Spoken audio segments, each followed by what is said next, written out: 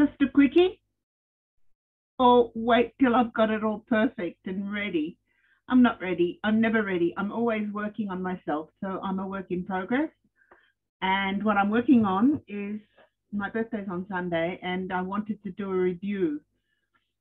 What have I been doing? What's happened in my life since I retired two years ago? My knee operation, my rehab, my Thinking into Results course, my self image that I'm still working on. And because I'm still working on my self image, I want to present something really good because even as I paint my picture, as I write my script, my dream life, what I want to do, it already is. It already is a dream life. I have already done so much. Let me pull up that document that I've been working on. Oh, and why did I did I close actually everything? Wow. A dream life come true was I was even going to change the title. Okay, so I've changed I've, I've written the scene, I've taken out a lot of the descriptive stuff because it's all about me. So I don't even know, is this really the text I want to use? So what I'm doing, you know, this is my work in progress. I'm learning by doing. I figure I ought to use my to-do list much more. You know, Bob Proctor says when you want something, write it down. When you don't want something, write it down and burn it. Because when you know what you want, when you know what you don't want, when you've identified where you're at and where you want to go, you've got a clearer path. And it's much easier for your mind to set that path up. And Bob talks about the frequencies. You imagine yourself there where you want to go, and you put yourself on that frequency and automatically things start coming together.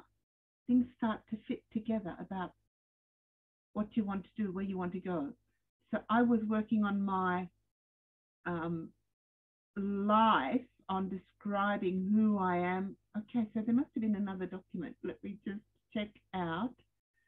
Um, no, I don't know what what it was. Um, I know that I was already writing about where I've been, where I've come from. So it must be in, in my story here, in my script, my movie script. It's um. Why can't I find it? Wow, it's amazing. I've had uh, auto recovered. So has the computer restarted? That is possible because it looks like everything is closed. So maybe I need to go the auto recovered um, and look at that because that's got it. Yeah, this is it. So it, I had not saved it. Mamma mia. So um, I'll save. This is a recovered file that is temporarily stored on your computer. Self six auto recovered. I save it. Okay, I'll give it a new name. I'll call it seven. So I'm keeping copies of my versions. Is that a good idea? You know, I'm an archivist, librarian type of thinking where I want to keep all of the files. Not a good idea when you keep everything, not necessary. So even now when I was moving all of my, many of my photos into the file because I wanted to do a bit of a progression, how I've developed you know, I've learnt to love myself. I have. I look at photos of myself with my broken teeth and my hair that I didn't like. I was younger and I think I look better now than I did then. This learning to love yourself is just so amazing.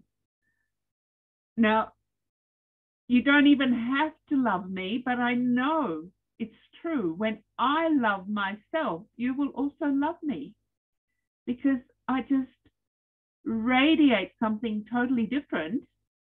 And when I love myself, I, I want to give that love. I give it out, I give it further. So, okay, I'm going to save this document. So much going on in my mind, you know, my mind is racing at 100 miles an hour. So, my movie, my life movie. So that's what my script was going to be. And I was just using the previous script, which was called A Dream Life Come True. Okay, we exercise six in the Thinking into Results is be the star of your movie because it's your life. Don't just play uh, a, a walk on or a role of a of a somebody else of somebody of a what am I thinking in German? Nebenrolle, you know, um, because actually I listen to Bob's lectures in, in English. So have you figured it out? I'm I'm living in two worlds, German and English. Okay, so instead of a dream life come true, my my script is called something more like um ma no I, I guess I haven't got the title. So what I'm discovering is it's really good to write lists. Now I I realized this years ago. I love making lists and it was one issue I think when Joseph and I first met. I wanted to have our accounts all recorded. And my whole family makes fun of me because I wanted our bookkeeping to be recorded, you know, so I kept every receipt and wrote down all of the little expenses. Well, maybe that was superfluous, maybe that wasn't necessary. But we survived and it wasn't easy. It really wasn't. It was only when I started working at the UN and not the first few years either that was still difficult, especially when they took out my whole pension fund requirement out of my, uh, the, in one lump, payment that I had to make for the first six months when I was working at the UN when I only had short term contracts. And then I was demoted from a G4 to a G3. You know, I was just a G staff, and I used to even be ashamed to say, I'm just a G. A lot of my colleagues thought I was a professional because I am a professional. I was, I am the subject matter, matter expert when it comes to contact management. I was in those meetings to help fix the APES issues in the contact management, and I don't believe they've even fixed it now. And I really subscribe part of that to the fact that they didn't listen to my suggestions. I am the subject matter expert and I mustn't call myself just a G staff, just a retiree, only a mother, a stay at home mum. I was a stay at home mum for 10 years, and during that time, I helped Joseph in his office work as he was a traveling salesman and would call me up and ask me to find his customer files to check out the phone number of a person or or an address of somebody who he couldn't find the place or he wanted to find out whether they would be home or not. So that was while taking care of five little kids and supporting my husband in his sales work. Then we did the total role change and I went out to work and he stayed home. These are my stories, you know. So what I started writing, um, let me just read it to you. My life movie takes an average, ordinary suburban girl growing up to immigrant parents in post war Melbourne and catapults me into the international stage of United Nations, international relations, nuclear security, and shows that we each have a role and can make a difference when we dare, when we dare. So it's not just about me, it's about you, about us. Describing the parents as the root and source of our nature and nurture. Showing early qualities of journalism, scientific exploration, and I think about walking around Halls Gap with my shoulder bag. I must have been seven or eight. And I had a, a square, a box type bag, shoulder bag that I carried around with me all the time. And it had a journal in it, a pen, and a camera. And I went everywhere with that bag and I took photos and I wrote things down.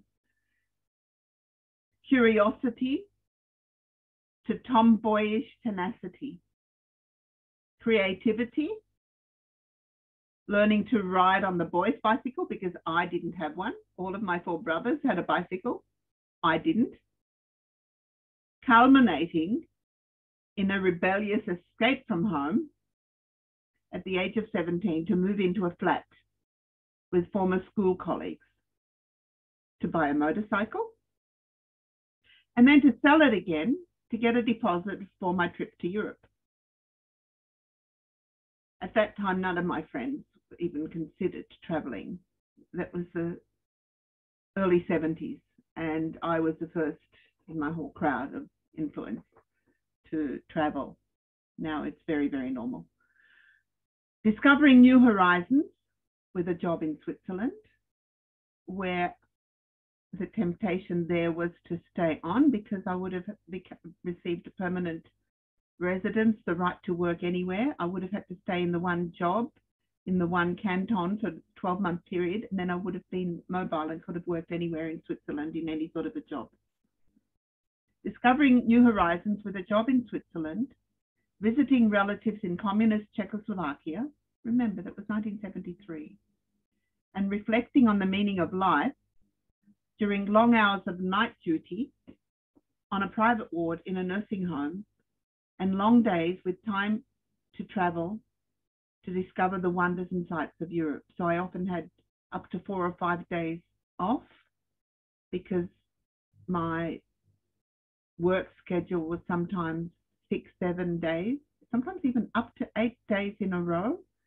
And so then I often had five days off and I could travel. So I came, for example, to, here to Vienna to meet Helen Malachowski, who was working at UNIDO at that time. And I also visited my relatives in Czechoslovakia and traveled around Switzerland, Zugspitz, Interlaken. Yes. At age 21, returning back to Australia, feeling accomplished and invincible, as you do at 21, but I was particularly so, at the self perceived peak of Maslow's pyramid, 180 degree turn around to abruptly end the promising nursing career to join the Unification Church and become a full time missionary. 20 chapters later. So, this is where I'm telling you there's lots and lots and lots and lots and lots of stories in there. And yes, I'll start to tell them. Now living in Austria, mother of five sons, all Vienna choir boys, spent 10 years as full-time mother and carer, suddenly full-time working mother, as husband takes over household duties, that's what I told you before, commutes to the city of Vienna from a rented country home enters the United Nations as an NGO representative for Women's Federation for World Peace and becomes Secretary of the Drugs Committee associated with the United Nations Office of Drugs and Crime. And this is where I got distracted. Presents the NGO statement to the CTBTO conference. I think it was 2007. And I was looking for the photos. So, you know, my project organize my photos. I've got this new computer now. I'm set up in my new office with um, good computer and enough room for programs that I want to work on. I wanted a better video editing program and I want to have all of my photos accessible. So I've got photos in lots of different places and now when I look for that particular photo quickly I can't find it. So I've used a lot of time today. It's 11.30 on Thursday and tomorrow we're going on holidays. We're going for a long weekend to a spa resort. And yes, I do have lists and things I want to do and I wanted to make a video. So is this what I wanted to do? It wasn't what I was thinking about, but I think I'll post it anyhow because what do they say? Better done than perfect. this is not what I had planned but I had planned to do something, so I'm going to share this now. I don't know how long this one, it doesn't show me how long I'm speaking. I should set my timer on when I do these things.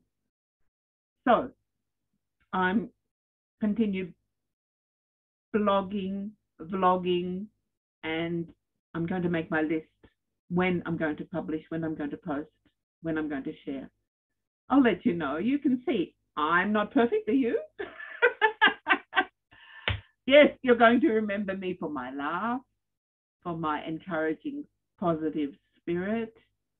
And I'm going to be motivating and sharing and inspiring. And let's get on with saving this world and building heavenly parents, holy community. Okay, see you next time.